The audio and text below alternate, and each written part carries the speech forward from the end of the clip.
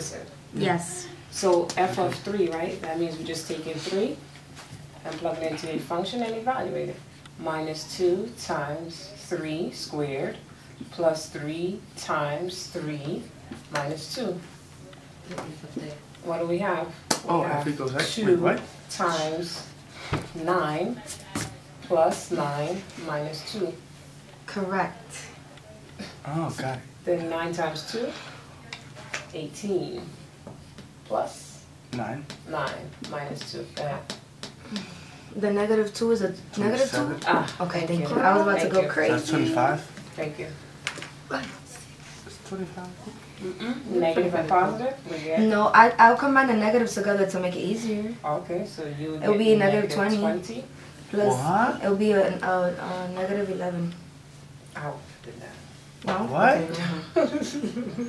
Okay. What, So- what just I happened? wouldn't that. I would kill it with negative nine. Oh, God. Nine, yeah, that's still the same thing. Oh, I don't And know. then minus nine, negative nine plus a negative two, which is negative eleven. Why? Mm-hmm. Because the signs were the same.